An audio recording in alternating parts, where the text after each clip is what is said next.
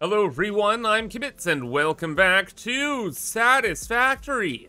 Where last time we kept working on our aluminum build here and got 2,730 Alclad aluminum cases produced per minute. And now today we want to move on to our main goal of all this stuff, to make over a thousand batteries per minute and cover the sky with drones.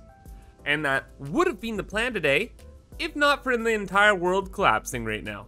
First, because we're gonna have a major shift in production. And second thing is, we have another minor problem at the nuclear power plant. So first of all, we of course have to fix the nuclear power plant because I have no idea what's going wrong. Which is the worst kind of problem. Are running the entire plant under capacity, so if anything, that nuclear power plant should be more stable than ever. However, I've noticed we are slowly losing production power. Like this should be around like 225, but now we're at 200,000. So we gotta go there first before the entire world collapses. Which two was it? This one? Yes. Oh yes, and of course, if you enjoy, remember to subscribe and leave a like. Okay, but hopefully the problem is a quick fix and nothing too crazy. By the way, I'm underclocking this power plant by turning off a bunch of the reactors. Or at least a lot of them, just so we have nuclear fuel rods built up, which isn't happening. So that's kind of weird. In fact, yeah, this is extremely weird. We're not backed up on nuclear waste either. But we don't have any nuclear fuel rods. Interesting. This is a new one. So it's a problem with production then. We've never had a problem with production yet. This is so weird though. We have plutonium being made. We're not backed up on nuclear waste. Everything looks fine. Except for this. Why has our nuclear fuel rod production stopped? This is the line for nuclear fuel rods. That makes no sense. Usually it's a problem with the blenders here, but this is these are all working just fine.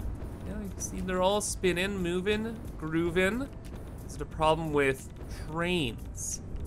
Like a belt was deleted or replaced or something like that? No, train tracks look fine. Sulfur input, it's at the rate it should be. Nuclear chew, it's going. Heat sink input, the station's redundant. It's been redundant for a while, so I could take that out. Nuclear fuel rod components in. That looks fine. That looks great. Yeah, okay, this is all to be expected because we have all of the nuclear power plants turned off. So this is like chock full of stuff. So what could possibly be the problem then? I guess we have to check the manufacturers, and clearly we found the problem. Why are these not running? Encased uranium cells. They don't have encased uranium cells. But we literally just saw that all that stuff was running. Is that the same problem with everything? No cells. That makes, okay. I guess we have to follow the belt because I am certain that those are running. Uh, what's the deal here? There are all the cells. Wait, where are they going? oh, this this goes to awesome sinks? Okay, why am I dumping the most mission critical part of our nuclear power plant into an awesome sink? That doesn't seem like a past Kib's thing to do. looks like because this isn't set right. That's overflow, and then this is any undefined. Now the vast majority of them go back towards the factory. As they should. How? I, you know what? I think that's a problem with Update 6 Experimental. I think the smart splitter was reset because that wouldn't randomly change. In fact, you know what? We gotta check this other one too. This is for the nuclear fuel rods. Left is overflow. Oh, so these reset. So yeah, left is any, which goes to the power plants, and center goes to the awesome sinks. Okay. So that was the whole problem. Very peculiar, very experimental kind of problem. If that is the case, then we should probably just turn these off for the foreseeable future. This is just so like the nuclear power plant wouldn't get as irradiated if things built up, but considering we are dealing with the problem we are dealing with, well, things are gonna get a whole lot more spicy and hot in here. but at least the problem is solved. Oh. Our lizard doggo escaped. Maybe he changed everything. Hmm. Suspect. I will have to send out a warrant for his arrest. Anyway, that problem seems and probably is solved. I'm just gonna assume it is. Check back on it later. And for now, we have to deal with the real big problem for today. That was only step one, brother. As that pales in comparison to the problems we have over at the aluminum plant here. So our big goal has been to make batteries. That's what all this stuff is for so far. Except I made a critical error. A pretty big whoopsies. You see, I wanted to use a blender recipe for the batteries. The blender recipe looks pretty good. Uses sulfuric acid, alumina solution, and casings to make batteries in some water. Cool makes 20 batteries per minute per machine. And then I was using this other alternate recipe though, which uses sulfur, alclad sheets, plastic, and wire to make 30 batteries. And I thought, nah, wait, this sucks, right? This recipe is way better, specifically because sulfuric acid probably is more efficient. And then if you go and look at the recipes in here, it does look more efficient. Like 6 sulfur versus 2.5 sulfuric acid, where sulfuric acid is one to one with sulfur. That's amazing. Plus 7 alclad aluminum sheets versus a little bit of alumina and a casing. Yeah, I don't think though. This this sucks, right? Wrong. I was live streaming and people in the chat were like, hey Kibbs, but the production rate of this is 20 per minute. And the production rate of this alternate recipe is 30 per minute. And oh my gosh, if I actually ran the full numbers through my spreadsheets of this alternate battery recipe, and it is by far more efficient. So, uh, yeah, we're not going with this recipe anymore. And that means we have some uh, changes for all of this. Well, not exactly all of this. All of those casings we're still gonna use for our project. However, we need to get everything together now for this. And although this is a bit of an inconvenience to change the plans around, it's not the end of the world. We have extra bauxite and we have extra space. So we're just gonna get rocking and rolling. So we're using the sloppy alumina recipe, bauxite, water, alumina. Then we throw it into another refinery to make a bunch of scrap. Then that all goes downstairs into smelters to make pure aluminum ingots. So in this space, we're gonna make a mini version of what we've been doing in the last couple videos. So we won't dabble on this for too long because we have a lot to do. The only real thing is spacing. I think, according to my spreadsheets, we're gonna need another four of these refineries. So hopefully they will fit. There might be just enough space. Come on. Okay, there's a belt that has to be moved, but yeah, that'll work. And then we can fit one in front. I just can't move this main walkway. That's like our main walking path through this entire area, so I'm not compromising there. Oh, but we got plenty of space with room to spare. Okay, so that's all fine. Refinery's over there. Then over here, we're gonna need 20 smelters. And we're gonna need a bit of room for belt work, so we're gonna leave this little pathway open. Then we'll start building the smelters down this way. Can we fit 10 per row? So that's 1, 2, 3, 4, 5, 6, 7, 8, 9, 10. It's perfect. You'll love to see it. Just in case though, we're gonna add in a little extra room going out this way. We'll have like a wall about here. We'll have this going up. We're gonna be making a lot more aluminum ingots here. And the belt work's gonna get crazy again. So in preparation for that, I'm gonna make a bit of space. Have the build go out this way into the refinery section. And we're gonna be able to place a bunch of belts here. It's just another belt tower, long story short. So do we have to have this? No. But will future Kibs appreciate it? You better believe it. Plus, having like weird divots and like changes to patterns gives the building character. So as that design kind of works its way up, it'll have belts and pipes and all that jazz on it. It'll look more interesting. I hope. So we'll see. Anyway, went ahead and did a little bit more work getting the machines in and trying to organize. We go. And I managed to fit all of them in along with all the belt work. It's nothing too crazy. Again, we've been doing this for a little while now. So that's all of the scrap. Or at least it would have been. Except I've made another mission critical mistake. all the amount of machines in my entire base here are wrong. Almost. So when you overclock a machine, right, you don't have to build as many.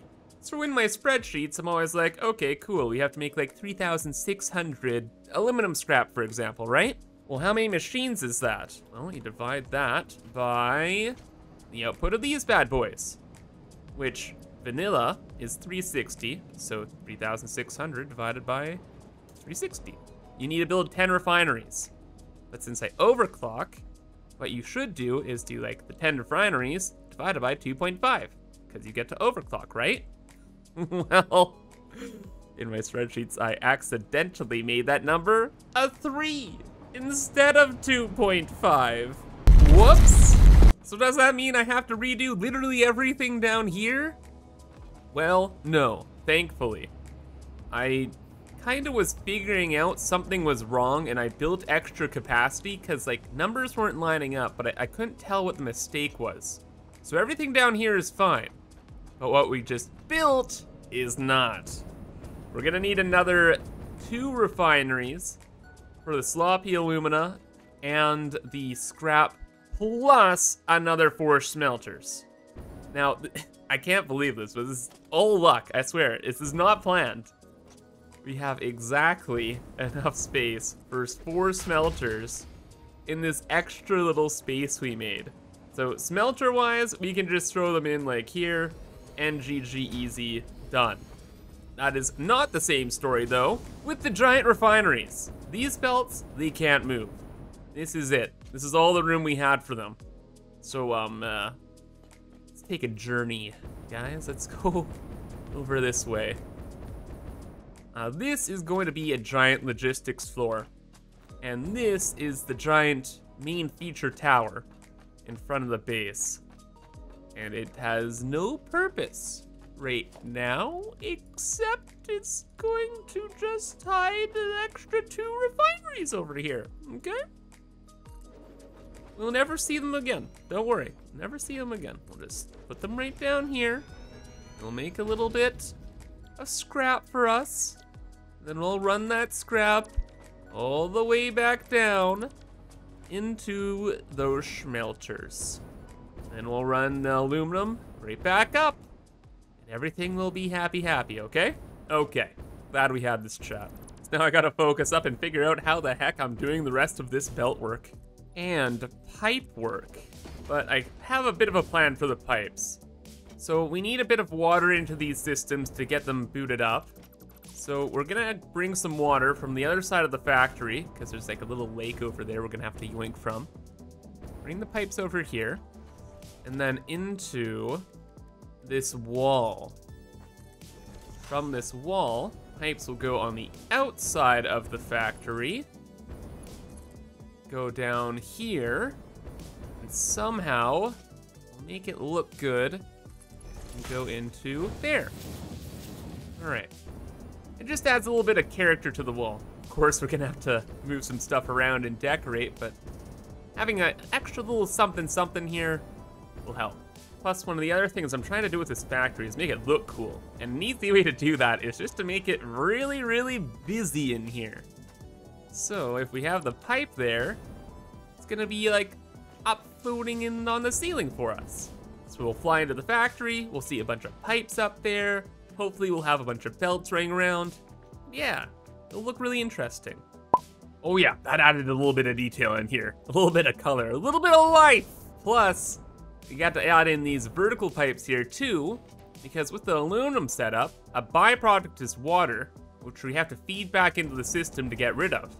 So we have like this pipe balancing going on, but on the ceiling, and it's like, what? It's crazy. Love it. Plus, I was able to get a couple belts in too. These belts are for the bauxite, and I'm just bringing those over from the train station over there. Say scoot over, scoot in. Obviously all fine, all dandy. Then the scrap, again, goes over to the smelters. And then all of the aluminum ingots go to these two belts that run right past our main walkway. So there's gonna be tons of movement going up to this floor, a logistics area. Then I've prepped the floor above that for all the processing we have to do. Because remember, for the batteries we're trying to make, we got a lot on the agenda.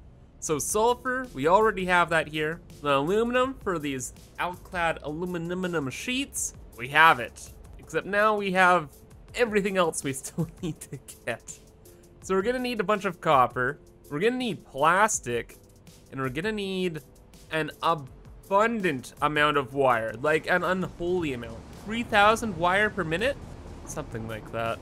For the wire, we're gonna be using constructors, of course. And we're gonna use the iron wire recipe because there's a ton of iron around this area that I'm not gonna be using. And the Alclad sheets, of course, are done in an assembler. And there is no alternate for them, I believe. Nope, it's just this. So we're gonna need a bunch of copper. And then plastic, well, you know, I have absolutely no idea what we're gonna do about plastic, but that's a future Kib's problem. Right now, though, we gotta get some copper and iron refined. We have a giant refinery area over here, so I guess just get going on them. At least we have unlimited power shards, so this isn't the end of the world. Just go to the pure iron ingot recipe, overclock this out the wazoo. 35 ore per machine times 2.5 is 87.5. I know for a fact we just built eight machines, so 87.5 times eight, it's about 700 production capacity. That's how much iron we need to feed this, which is great because that's a fully overclocked iron node. And we have a bunch of those sitting right over there. Yeah, we have three free, in fact, which is insane. And of course, because I'm insane too, I'm just like, hey, why don't we just bring back extra and build like, you know, an extra 50 refineries? Why not? Let's just do it. Let's go for it. Have fun. Now we have all of the iron we're gonna need for this project, I'm sure. Maybe even more so. Yeah, we have like a thousand free here. And it's all hooked up, ready to go, and belted to where it needs to be. And some of them are even powered. Water brought over from the same sippy drink lake over that way, and it should be fine, except that was only round one. We still need copper, and unfortunately, we don't really have a lot of copper. Copper is a bit of a spooky one. Uh, all of the copper nodes down in this Crater Lake area are being used for other things. And the closest copper nodes next to us, or down over here, which is over the face of a giant cliff, or over here, which is through the Titan Forest, which is like insano.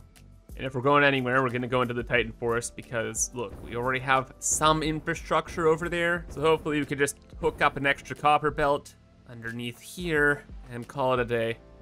Just had to do a little bit of belt wrangling to get things into position properly, but it's fine. Plus, went back and got all the refineries built, and holy, we have so much copper now. It's gonna be great. That's a pure node, right? So that's 16 refineries. So like 1,500 copper ingots for us to mess around with. And I think we only needed like 600, at least for the battery project. So fantastical. Next, I was bringing up everything over to our project area, so we have more chaotic belts just going everywhere. And we are ready to get processing. everything is going to start over this way, up here, and we have to build a ton of machines. All fully overclocked, by the way, so it's gonna use up an insane amount of power. but, again, we do have an insane amount of power, so not the end of the world. Where do we begin? I guess we can start with the Alclad sheets. Alclad sheets we're gonna build over here. We need 24 of them. So we could just build a couple sets of four here. Fine. Material goes in this way, exit through this tile. That'll be good. And there should be just enough space to about here. And then that will be all of the assemblers. Then the constructors. We need 60 of them. I'm thinking we make three rows of 20. So yeah, this would mean like 240 if not for the power shards. Thank goodness. This belt work and even the power for this is gonna be ridiculous. Future Kib's problem, for now, the best part of the game in my opinion, extreme building clicking. But then that's immediately followed by the most tedious part, actually belting everything together. Oh boy. No, it, it should be fine. Just throw on my Spotify music, link in the description by the way, and it's kind of nice and relaxing. Plus, I don't think we have to do any crazy belt shenanigans. Each one of these constructors takes how much iron ingots per minute? 12.5 times 2.5. 31.25. So a full belt of uh, iron ingots divided by 31.25, it's about 25 machines. So I have all of the iron brought up right to here, and it can just overflow all the way down here. But instead, probably gonna bring some of that iron about halfway up, just so things process a little bit faster, or at least things get started a little faster. So half will go to the first 10, other half to the last 10. We do the same thing for every single row. Then for the Alclad sheets, it's actually gonna be even easier than that. Cause for the copper, we need 600 across all of the machines. And we have three kind of pairs of assemblers. So there's these two, these two, and then these two at the end. And copper-wise then, all we have to do is plop down a splitter, and that can send the copper to each of the subsystems there. And then we have our aluminum, which I actually made a little extra of, just in case. And also to make my life easier, because now they're each uh, 720 line. There's three lines, three setups. See what I mean? Super, super simple stuff. And in only an hour, everything is belted up and ready to go. 3,000 wire per minute and 1,750 Alclad aluminum sheets automated. And everything is gonna be heading over this way. So the Alclad sheets go up. Got like six belts of wire coming this way. And now we make the batteries somehow. because uh, this is kind of the end of the line here. We don't have the rest of the factory designed. And also, this is gonna be the end of the video too. This is a very grindy episode. Lots of machines to build. The last thing, is the power looking good? Yeah, power's looking fine. So hopefully next time then we can get those batteries automated. And for now, I hope you guys enjoyed and thank you for watching. But have a fantastic rest of your day and bye-bye.